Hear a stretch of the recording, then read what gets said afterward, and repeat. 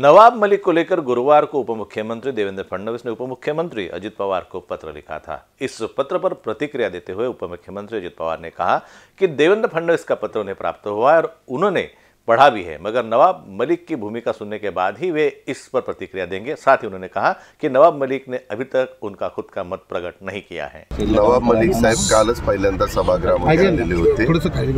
ते कुठं बसले काय बसले ते टीव्ही वाल्यांनी दाखवलेलं आहे. त्यामध्ये स्वतः नवाब मलिकांची भूमिका कारण आपल्याला सगळ्यांना माहिती आहे की राष्ट्रवादी काँग्रेस पक्षामध्ये दोन जुलैला आम्ही सगळ्यांनी आम्ही म्हणजे राष्ट्रवादी काँग्रेस पक्ष आहे आणि आम्ही या महायुतीच्या बरोबर जाण्याचा निर्णय घेतला आणि त्या पद्धतीने आम्ही सरकारमध्ये गेलोय. पहिल्यांदाच ते सभागृहामध्ये आलेले. त्यांची भूमिका काय आहे? त्यांची कुणाची? नवाब मलिक साहेबांची. कारण प्रत्येकाला आपापली भूमिका विशद करण्याचा अधिकार आहे. त्यांची भूमिका काय आहे? हे ऐकल्यानंतर मी त्याच्याबद्दल माझं मत ते मी सांगितलेलं आहे की ह्या संदर्भात आपल्या देवेंद्र फडणवीस साहेबांचं पत्र मला मिळालं. पत्र ते वाचलेलं आहे.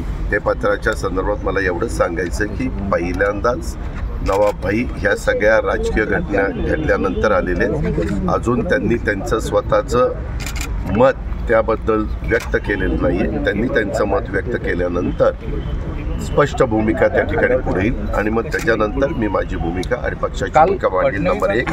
दुसरी गोष्ट ह्या संदर्भात अजून त्यांचं आज ते म्हणजे तब्येतीच्या मुळं त्यांना कोर्टाने संधी दिलेली आहे अजून त्या संदर्भात केसेस त्या बाबतीमध्ये चालू आहे त्याच्यामुळे त्यांचं मत एकदा काय आहे ते ते स्पष्टपणे कळू दे ना.